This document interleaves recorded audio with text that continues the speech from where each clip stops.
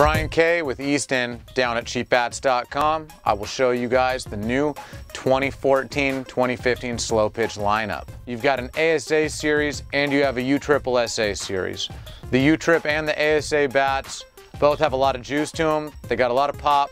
We did change some things in the barrels of them to make them better this year versus last year. Here we are with the brand new 2014 B4.0.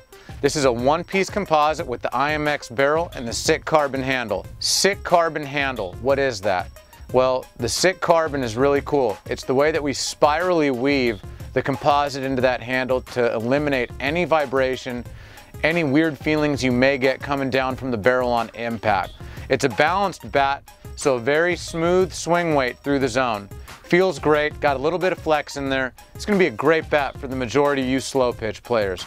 Brand new B4.0 for ASA. CheapBats.com is your source for the new 2014-2015 Easton Raw Power series. CheapBats.com is the best. They ship quick, no hassle returns.